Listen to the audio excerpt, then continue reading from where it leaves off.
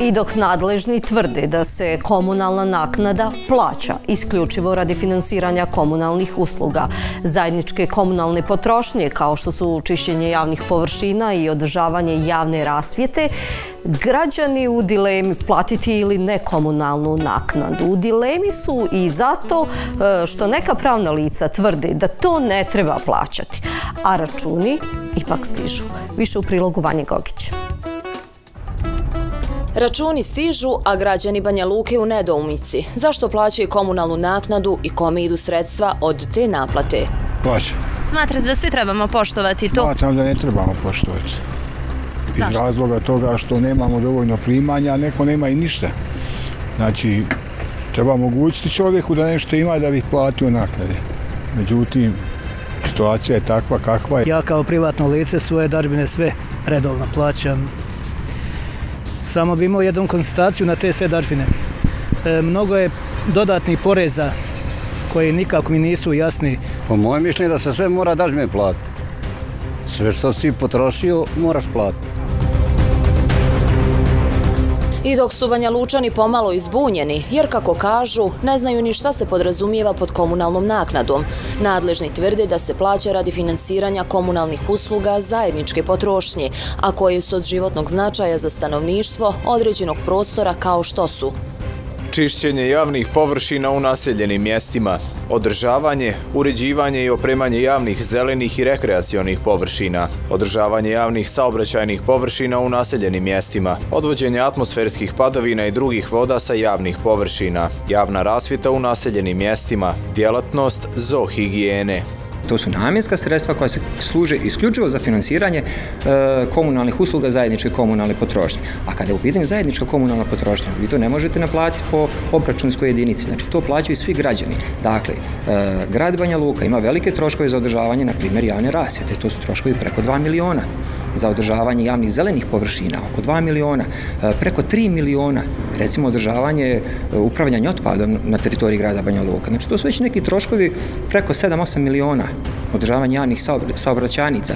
Otprilike oko, vrijednost je oko 10 miliona po programu zajedničke komunalne potrošnje na godišnji nivou su rashodi za održavanje grada. Što znači, 10 miliona bi trebalo da se naprati od komunalne naknade ono što je istina, da se naplati oko 4,5 miliona. Znači, ni 50% se ne naplati od ovih namjenskih sredstava za održavanje grada.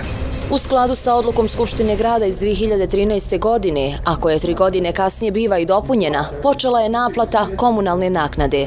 Sada se postavlja pitanje da li je to ustavno naplaćivati iz razloga što prema zakonu o porezu na nepokretnosti, u članu 20 je definisano da se porez na nepokretnosti naplaćuje u korist e, budžeta gradova i opština e, na području kojih se nalaze nepokretnosti za, za koje se plaća taj porez. Također, e, vlasnici poslovnih prostora, stanova, korisnici tih stanova, zakupci stanbenih i poslovnih prostorija su prema toj odluci i zakonu o komunalnim delatnostima obveznici plaćanja te komunalne naknade, a oni e, istovremeno plaćaju i e, e za odvoz smeća, što je opet e, posebna e, pravno lice koje se bavi odvozom smeća, dakle plaćaju to, plaćaju struju, plaćaju vodu, plaćaju kanalizaciju i sve drugo što koriste kao iz te zajedničke infrastrukture. Prema onom što ja mogu zaključiti, ta komunalna naknada je u principu jedan fiskalni ili parafiskalni namet, kako god ga zvali, na, na budžet građana koji e, nema svog uporišta u Ustavu, jer se ta zajednička komunalna e, potrošnja naplaćuje više puta, samo se različito zove, a po istom osnovu. Antonić dodaje da su podnosioci inicijative o naplati komunalne naknade napravili mnoge propuste.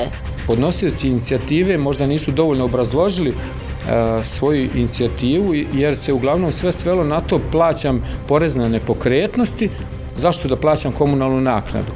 Pravio sam kuću ili kupio sam stan i već je e, plaćena komunalna naknada jednokratna u jednokratnom iznosu i jednokratna i renta i e, plaćam porez na nepokretnosti i e, smatralo se da time plaćam da je to obuhvaćeno sve. Međutim, vjerovatno zbog e, punjenja budžeta jedinica lokalnih samouprava, svaka je donijela na svom nivou ovakvu jednu odluku i one se naplaćuju Građani ne samo da su obavezni plaćati komunalnu naknadu, već bi trebalo da svjesno ulažu novac za održavanje svog grada, navode iz gradske uprave. Komunalna naknada je precizno određena cijena e, po formuli. Eh, određena je sa korisnom površinom objekta koji je u vašem vlasništvu, u vlasništvu vlasnika. To može biti stambeni, poslovni, pomoćni objekat i neka druga namjena. Korisna površina, zatim vrijednost komunalnog boda koji se određuje svake godine, on je otprilike isti određen broj feninga, puta, korisna površina i zatim stepen opremljenosti grada infrastrukturom. Dakle, nije ista opremljenost u centru grada u nekim drugim zonama. E, na osnovu toga se određuje broj bodova. Sve to kad se pomnoži, dobijete jedan proizvod, u stvari to je cijena komunalne naknade. Od prilike varira od do? To je nekoliko, nekoliko maraka po, po stambenoj, recimo, jedinici. Evo, dajte primjer neki. 5-6 maraka za jedan prosječan stan. Prema odluci o komunalnoj naknadi bez obzira na to da li se prostor koristi ili ne, postoji obaveza plaćanja komunalne naknade za objekte i uređaje zajedničke komunalne potrošnje sve dok prostor postoji. A prema trenutnoj sudskoj praksi zastara komunalne naknade je tri godine i to od dana kada je dospjela za plaćanje, a nije. U odredbama odluke na osnovu koje se naplaćuje ova komunalna naknada na području grada Banja Luka konkretno, postoji odredbe koje kažu da ukoliko vi ne platite, to rješenje kojim je vama određena komunalna naknada postaje izvršna isprava kao e, e, sudska odluka. I shodno tome, e, grad Banja Luka protiv tih ljudi, fizičkih ili pravnih lica koji ne plaćaju komunalnu naknadu u skladu sa izdatim računima, pokreće izvršne postupke, naplaćuje još dodatno sudske troškove, kamate i tako dalje.